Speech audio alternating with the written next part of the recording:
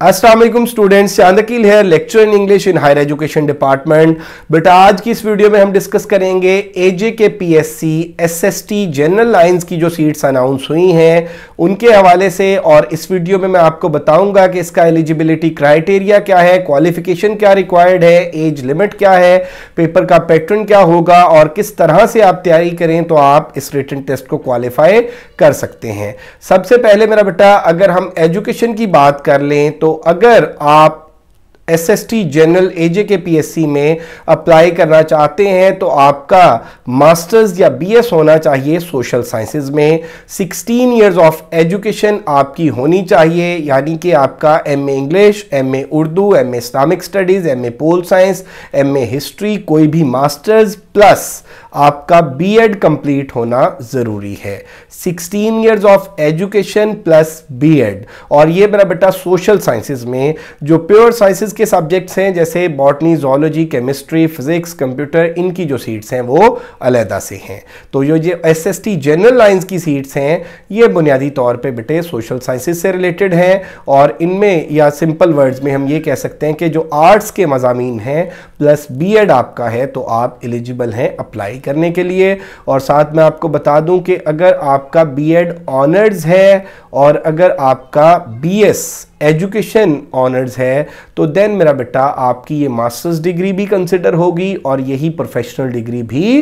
Consider होगी। इसके साथ आपको किसी और सब्जेक्ट में मास्टर्स की या बीएड की ज़रूरत नहीं है। एज के हवाले से हम बात कर लें मेरा बेटा तो इसमें जो मिनिमम एज है वो 22 टू ईयर्स है और अपर एज रिलैक्सेशन के साथ जो मैक्सिमम एज लिमिट है वो 40 ईयर्स है और मेल के लिए भी यही क्राइटेरिया है और फीमेल्स के लिए भी इसका एज का यही क्राइटेरिया है। यानी कि मिनिमम जो है वो 22 टू ईयर्स और मैक्सिमम 40 ईयर्स और इसकी अप्लाई करने की जो डेट है बेटे, वो 9 फरवरी लास्ट डेट है। तो आप लोगों ने अगर अभी तक अप्लाई नहीं किया, अगर आप एलिजिबिलिटी क्राइटेरिया को मीट करते हैं तो बेटे मेक श्योर कि 9 फरवरी से पहले पहले आप लोग अप्लाई कर दें। अब अगर हम इसके पेपर पैटर्न की बात कर लें बेटे तो इसका जो पेपर पैटर्न है एसएसटी जनरल का, उसमें पैडागॉजी जो है वो थर्टी परसेंट होती है, यानी हंड्रेड मार्क्स का आपका पेपर है एम सी क्यूज़ बेस्ड तो उसमें थर्टी एम सी क्यूज़ जो हैं वो पैडागॉजी के होते हैं ट्वेंटी एम सी क्यूज़ जो हैं वो इंग्लिश ग्रामर के होते हैं।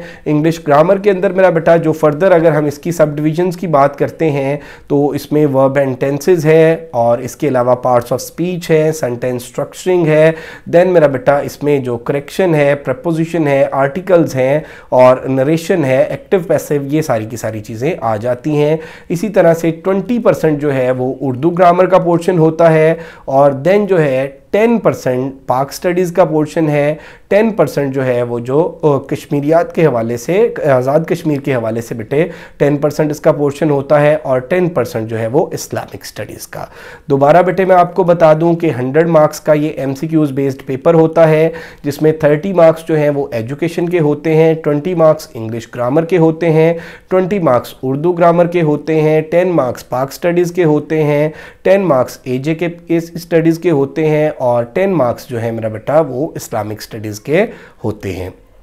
तो ये पाँच से छः चीज़ें आपको प्रिपेयर करनी होती हैं टेस्ट को क्वालिफाई करने के लिए। अब अगर इसमें हम बात कर लें पैडागॉजी की, मेरा बेटा तो पैडागॉजी की अगर हम सब टॉपिक्स की बात करें तो उसमें बेतहाशा चीज़ें आ जाती हैं, जैसे इंट्रोडक्शन टू एजुकेशन है टीचिंग स्ट्रेटजीज़ हैं क्लासरूम मैनेजमेंट है एवेल्यूशन है डिसिप्लिन है अर्ली चाइल्डहुड एजुकेशन है रिकॉर्ड कीपिंग है मैनेजमेंट मैनेजमेंट थेरीज़ हैं एजुकेशनल साइकोलॉजी है एजुकेशनल फ़िलासफ़ी है आईसीटी इन एजुकेशन है। तो अब इन सारी चीज़ों को प्रिपेयर करने के लिए जब बच्चे डायरेक्टली बेटे किसी भी एम बुक पे जाते हैं या कहीं से मेरा बेटा एम का डाटा उठाते हैं और उसको क्रैम करने की कोशिश करते हैं तो वो उस तरह से उन चीज़ों को ना तो जहन नशीन कर सकते हैं और ना ही मेरा बेटा उनके एम को जस्ट पढ़ के कॉन्सेप्ट बिल्डअप होते हैं। इसी तरह से बेटे बुनियादी तौर पर इंग्लिश ग्रामर का कि जब तक आपको बेसिक्स क्लियर नहीं है, तब तक मेरा बेटा आपके एम जो है वो ठीक नहीं हो सकते। तो इस पर मैं आपको कुछ सजेस्ट सजेस्ट कर दूँ तैयारी के हवाले से कि आप अपने जो टॉपिक्स हैं ये सारे के सारे इनको स्ट्रीमलाइन करें। पहले आप पैडागोजी के टॉपिक्स को स्ट्रीमलाइन करें देन मेरा बेटा इंग्लिश ग्रामर के टॉपिक्स को देन उर्दू ग्रामर के टॉपिक्स को, फिर पाक स्टडीज़ के टॉपिक्स की एक लिस्ट बनाएँ, साथ मेरा बेटा एजे के स्टडीज़ के टॉपिक की लिस्ट बनाएँ और साथ इस्लामिक स्टडीज़ के टॉपिक की लिस्ट बनाएँ और उसके अकॉर्डिंग जो है चीज़ों को पहले सब्जेक्टिव वे में पढ़ें देन मेरा बेटा उनके वन लाइनर इन्फॉर्मेशन पढ़ें और देन उनके एम पढ़ेंगे। तो इस तरह से आपकी तैयारी इस वे में हो जाएगी कि आप इंशाल्लाह श्योरली टेस्ट को क्वालिफाई कर सकेंगे।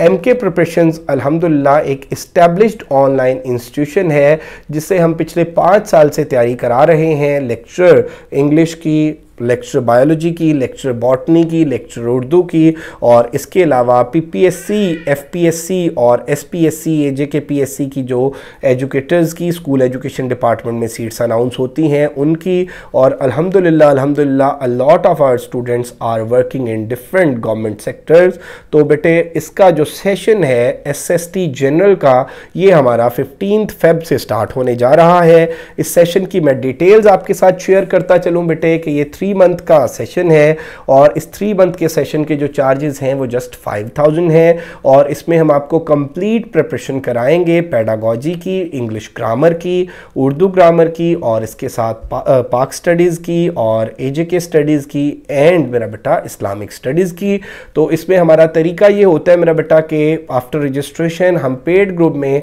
अपना एक थॉरो सिलेबस ब्रेकअप शेयर करते हैं और उस सिलेबस ब्रेकअप के अकॉर्डिंग टॉपिक वाइज हम अपने नोट शेयर करते हैं। हैं और अल्हम्दुलिल्लाह वो नोट्स हमने इस तरह से प्रिपेयर किए हैं कि उनमें सब्जेक्टिव वन लाइनर और ऑब्जेक्टिव ये तीनों चीज़ें टॉपिक वाइज होती हैं और बच्चे उनको प्रिपेयर कर लें तो मैक्सिमम चांसेस ये होते हैं कि वो इनशाला अपना रिटर्न क्लियर कर लेंगे। तो बेटा हम टॉपिक वाइज अपने नोट शेयर करते हैं देन टॉपिक वाइज हमारी टेस्टिंग होती है, उस उन टेस्ट वो जो टेस्टिंग है उसकी हम की शेयर करते हैं और प्लस उसकी डिस्कशन कराते हैं। तो ऑलमोस्ट मेरा बेटा ये पूरे सेशन के हमारे जो round around about 40 to 45 test होते हैं, जिनके चार्जेस जस्ट 5000 हैं। If you are interested to join बेटे तो आप हमारे गिवन नंबर्स पे कांटेक्ट कर सकते हैं। एम के प्रोफेशन के नाम से हमारा यूट्यूब चैनल है। इसी नाम से हमारा फेसबुक पेज है। इस वीडियो के एंड पे भी आपको मेरा नंबर भी मिल जाएगा और प्रोफेसर मुबशर का नंबर भी मिल जाएगा। तो बेटे, आप लोग हमारे सेशन का अगर हिस्सा बनना चाहते हैं